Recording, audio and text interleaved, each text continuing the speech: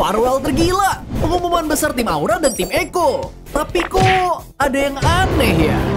Jangan lupa subs dulu guys. Jadi beberapa waktu yang lalu, salah satu pemain jungler terbaik di dunia yaitu Carl Tizzy baru aja ngasih tahu sesuatu yang mengejutkan banget lewat salah satu live stream miliknya. Di mana katanya tanggal 20 Mei ini bakal ada pengumuman besar-besaran terkait tim Eko dan tim Aura. Guys, sa 20 guys, may announcement. No? Oh, lumiyaw pa Guys, abangan nyo na lang sa 20, may announcement talaga, ma- malupit. Sa May 20 guys, abangan nyo. May announcement. Awalnya sih orang-orang tuh berpikir kalau ini akan menyangkut mengenai Yawi yang akan kembali ke tim Eko. Setelah kemarin, Yawi melakukan pengumuman kalau match Aura kemarin adalah match terakhirnya di tim Aura. Ada pesan-pesan kah, Yawi? Any message?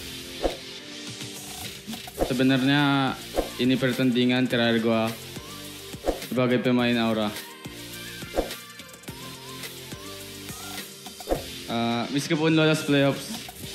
Sabi, yeah, termo kasi ang ah, udadatang na... Uh, Tabog tangan niyo, no? Ada apa dengan Yawi? Shock dikit. Banyak sih ini shocknya. Iya. Ada apa ini? Tapi di sini ada kejanggalan lain nih guys. Soalnya tiba-tiba tim Aura tuh mulai melakukan farewell massal, mulai dari farewell semua brand ambasadornya, dan bahkan Bung Andi selaku direktur dari Poco Indonesia juga mengakhiri kerjasamanya dengan Aura yang udah jalan selama 4 tahun. Nah, menariknya nih ya guys, dari semua kejanggalan ini, muncul spekulasi kalau katanya Aura bakal rebrand dan mungkin akan berganti nama jadi Eko Indonesia. Tapi ya, gue balikin ke kalian dulu deh guys.